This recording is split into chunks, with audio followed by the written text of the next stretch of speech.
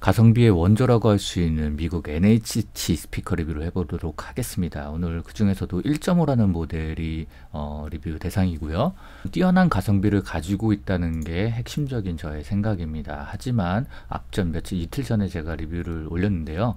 이렇게 녹아 엣지가 녹아버리는 타입의 스피커라는 거. 하지만 굉장히 좋은 스피커이기 때문에 오늘 리뷰 어, 끝까지 한번 시청해 보시면 전반적인 이해를 높일 수 있지 않을까라고 생각을 하면서 리뷰를 시작해 보도록 하겠습니다. 언제나 녹음 영상은 따로 올리고 있고요.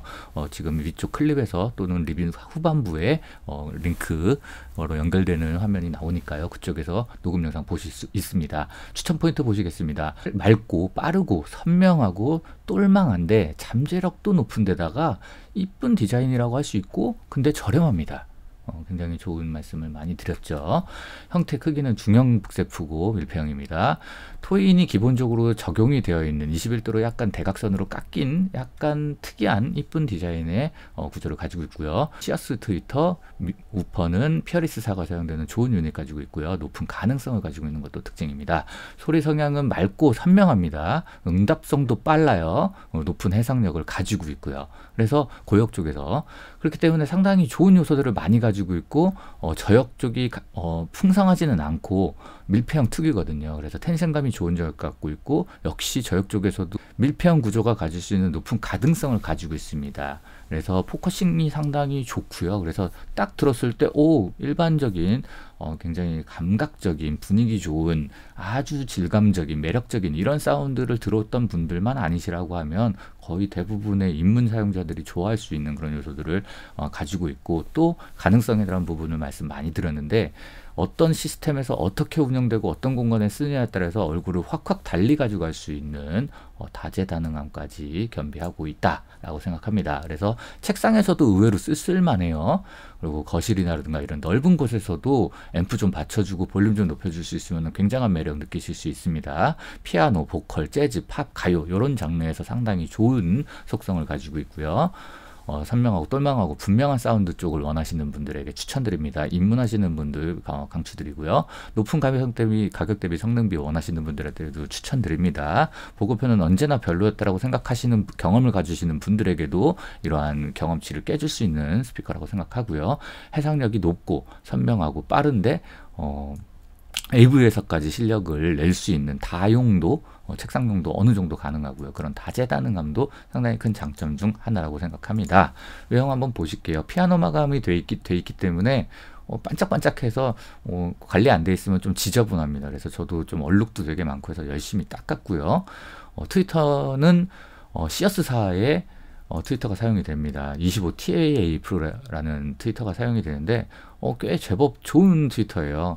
어, 트위터 보호 가드가 있는 버전도 있고 초기형은 저 보호 가드가 없기도 합니다만 뭐 사실상 거의 같은 등급의 트위터일 거라고 보이고요. 네, 우수합니다. 우퍼 같은 경우는 피어리스 830301이라는 어, 우퍼가 사용되는데 잘 보시면 약간 미세하게 운 것, 그 엣지가 녹는 부분 제가 위쪽에 앞전에도 소개를 했었습니다. 참고하셔서 이런 어, 엣지의 소모가 어, 저는 이미 굉장히 빨리 진행된 모든 어, 1.5가 이렇다는 얘기가 아닙니다. 관리가 좀 안 된, 안 듣고 어, 창고 같은 데서 보관한 이런 케이스는 좀 저렇게 될 수 있습니다만 잘 들은 건 또 컨디션이 좋을 수 있어요.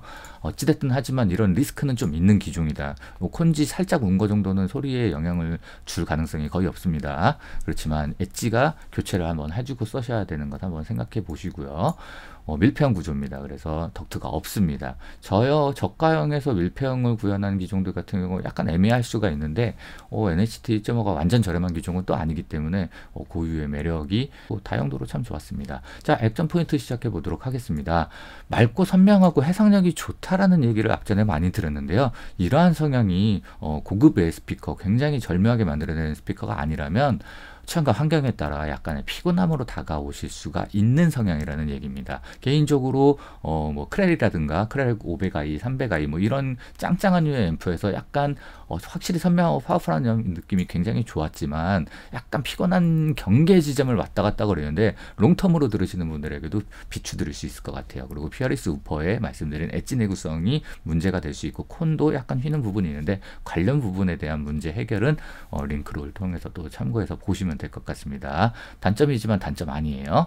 매칭 세팅 보통 밀, 보통이라고 생각합니다. 밀폐형인 만큼 힘이 어느 정도 있는 힘이 좋은 앰프에 물리고 볼륨을 좀 주면 아, 가격대를 잊을 수 있는 깜짝 놀랄 소리도 들려주는 그런 스피커입니다. 하지만 보급형이나 올인원 같은 이 스피커가 많이 매칭된 그런 앰프에서는 호불호가 크게 나뉠 수밖에 없는 어, 선명한 고급지만 쨍쨍 깨끗대는 소리의 매력 쪽이라서 아주 싫어했던 분들도 계실 수 있겠다라는 생각 들고요. 진공관 앰프 좀 괜찮은 걸 주게 되면 어, 부드러운 성질이 없는 그런 스피커지만 그런 부분을 달래면서 적절함을 찾아 나가는데도 어, 너무 어렵지도 않고 요즘에는 힘 좋은 앰프들도 저렴한 게 많고 진권 F도 저렴한 것들을 선택할 수 있는 시대이기 때문에 어, 다양한 맛을 내기는 좋다라는 말씀입니다. 책상용 세팅에서도 괜찮을 만한 높은 높이 갖고 있고요. 어, 저 여기 어, 스탠드만 좀 괜찮은 걸 받쳐주면 책상용에서도 괜찮을 것 같습니다. 추드리는 분들은 부드럽거나 편안하거나 질감 있거나 감미롭거나 분위기 있는 사운드를 원하시는 분들한테는 확실히 비추, 비추를 드립니다. 유명하거나 고급 제품을 선호하시는 분들에게도 비추드립니다. 유명한 이게 1990년도 후반부에 나왔는데 그때 굉장히 선풍적인 인기를 끌었던 모델이에요. 하지만 HD가 해외 쪽에서는 특히 뭐 미국이나 이런 데서는 유명하고 여전히 잘 나갈 수도 있어요. 하지만 한국에서는 어, 떠한 활동의 행보가 거의 보이지 않고 있기 때문에 유명 한 기종 좋아하시는 분들에게는 비추드리고요. 저렴한 앰프로 TV 다이에 간단하게 사용하고 뭐 이런 식으로 쓴다라고 하면은 어, 밀폐형 특유의 속성을 약간 요렇게도 놔보고 저렇게도 놔보고 앰프 한 그래도 두세 개 정도는 바꿔보실 분에게는 제가 추천을 드렸지만 그렇지 않고 적당히 간단히 대충 쓰신다. 이렇게 편안한 기종이라고 생각하는 쪽이라면 저는 비추드리겠습니다.